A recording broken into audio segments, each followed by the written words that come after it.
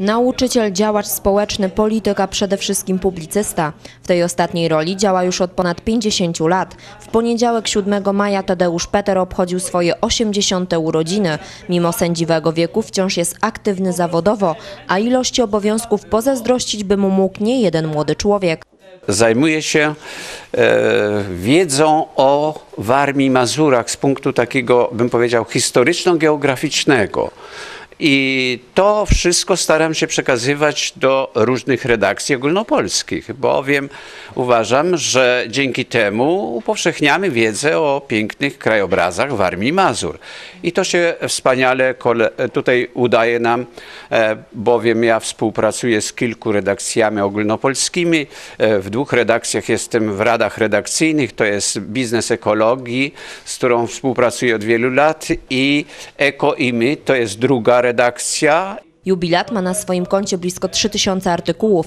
Odnaleźć je można na jego stronie internetowej www.tadeuszpeter.pl. Ponadto znany jest słuchaczom z audycji prowadzonych w Radio Mazury, a od kilku lat jest wykładowcą na Uniwersytecie Trzeciego Wieku. I człowiekiem, i wykładowcą jest wspaniałym, jest super. Jedno słowo krótkie, jest super. To świadczy o tym, że proszę zobaczyć, ile, ile przychodzi uczniów, no może nie uczniów, ale yy, na wykłady do pana Petera. Proszę zobaczyć, i to są nie wszyscy, którzy dzisiaj są, prawda? Yy, Pan Peter jest oblegany przez słuchaczy.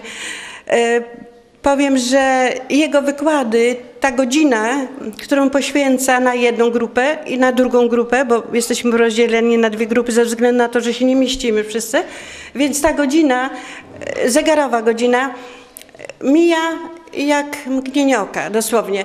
80. urodziny były doskonałą okazją do zaprezentowania najnowszej książki. Spacery z Radniem Mazury po Strudzie i okolicach to nowa pozycja Tadeusza Petera. Prace nad książką trwały ponad 4 lata.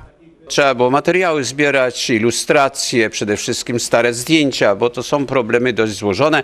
Myślę, że dużo mnie pomogli radiosłuchacze, ponieważ dzięki nim uzyskałem wiele zdjęć, tych właśnie z pierwszych lat powojennych. Jak również od moich studentów trzeciego wieku Uniwersytetu, e, z którym przecież jestem w kontakcie od jego powstania. Jako pierwsi książkę mogli zobaczyć i przeczytać studenci Uniwersytetu Trzeciego Wieku. Już 14 maja w sali reprezentacyjnej Ostruckiego Zamku odbędzie się spotkanie z Tadeuszem Peterem, podczas którego zostanie zaprezentowana jego najnowsza książka.